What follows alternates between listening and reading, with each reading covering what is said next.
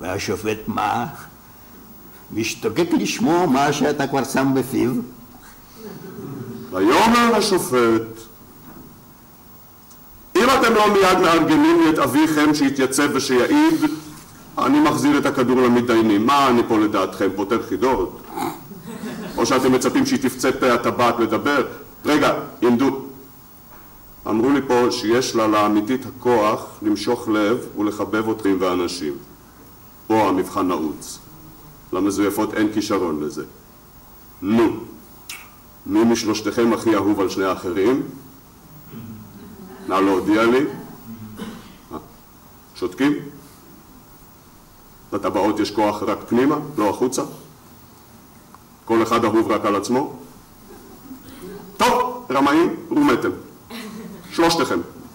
הטבעות כולן לא של אמת. המקורית הלכה יש להניח ולחפות על האובדן, האב הורה לצרוף שלוש בתור פיצוי. נפלא, נפלא. אז אם, כך השופט המשיך, אתם רוצים פסק דין ולא עצה, לכו. אך העצה שלי היא, הסכינו למצב כך כמות שהוא. כולם קיבלו מידי האב טבעת, יחשוב איש איש שהמקורית אצלו. אולי לאב נמאס מרודנות של טבעת יחידה אצלו בבית. הרי ברור גם שאהב את שלושתכם, אהב שווה. עושק של שניים כדי להדיר חפץ. נראה אתכם שוקדים על המופת של אהבתו הבלתי משוחדת, חופשית מכל דעה קדומה. שאיש איש יתאמץ להתחרות מי זה יוכיח לאור יום את כוח האבן בטבעת שבידו.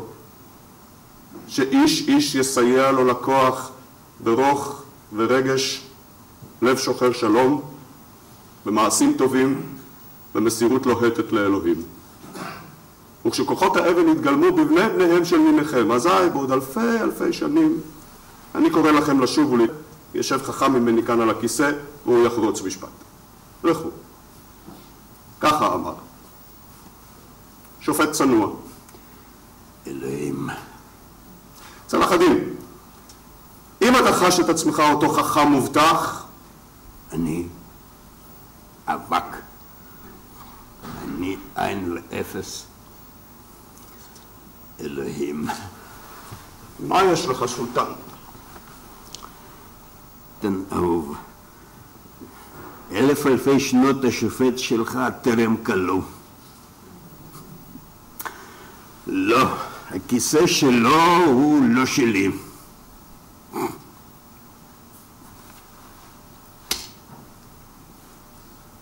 תלך, תלך.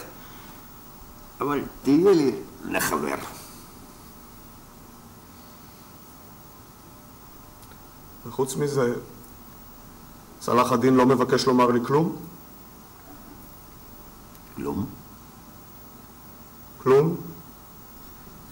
כלום? למה? כי חיפשתי תירוץ לשטוח בקשה אחת. נחוץ תירוץ כדי לבקש, דבר. אני בא מנסיעה גדולה, גביית חובות במזומן יש לי כמעט יותר מכפי הצורך. התקופה בעייתית קצת שוב, ולא בטוח לגמרי איפה להפקיד אותו. אז ככה שחשבתי לי, כי מלחמה קרבה זה הוצאות, תוכל להשתמש בכסף.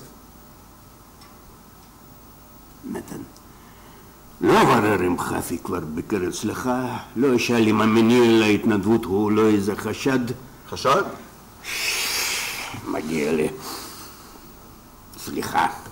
אה, מה הטעם? חייבים להתוודות. הייתי על הסף. לא לבקש ממני בדיוק אותו דבר. ממש.